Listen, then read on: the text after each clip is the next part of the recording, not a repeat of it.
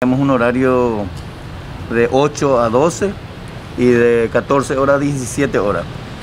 Pero nos encontramos con la solicitud y el pedido de la gente que mucha gente trabaja y no tiene tiempo.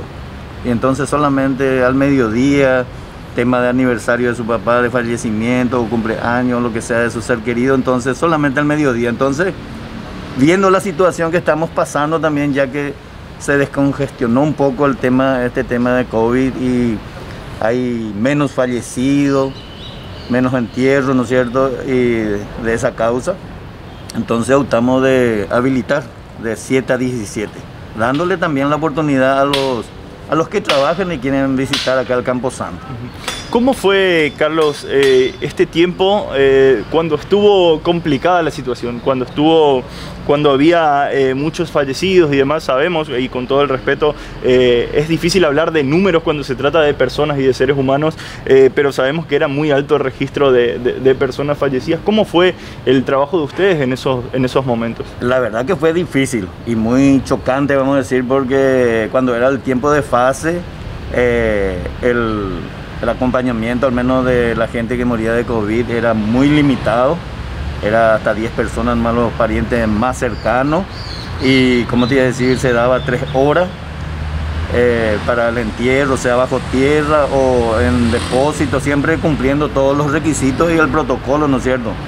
Y las 24 horas, hasta ahora tenemos habilitado las 24 horas del cementerio. Y teníamos eh, personas, o sea, tenemos cinco grupos de albañiles que hacen los trabajos y ellos se turnan. Prácticamente también están atentos, estaban atentos y están atentos a las 24 horas. Y también nuestro personal, el secretario que cuando se le llamaba a las 2, a las 3 de la madrugada, él venía a fiscalizar y todo eso. Y a Dios gracias, como te digo, ahora hay menos fallecidos y prácticamente a la noche ya eh, mermó mucho. Pero te cuento que hace dos meses y medio atrás por ahí teníamos un promedio de 3 a 4 fallecidos.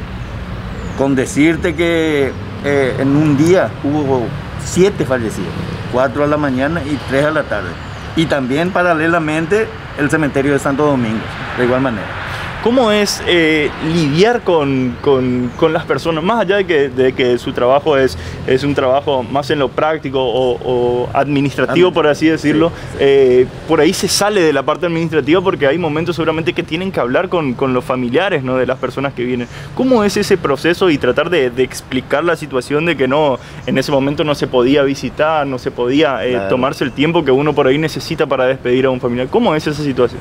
Y la verdad que nos tocó momento difícil también a nosotros porque venían a acompañar a sus seres queridos, entraban, como te digo, las personas eh, limitadas y los demás quedaban ahí tras del portón mirando a su ser querido, que es una pena, ¿no es cierto?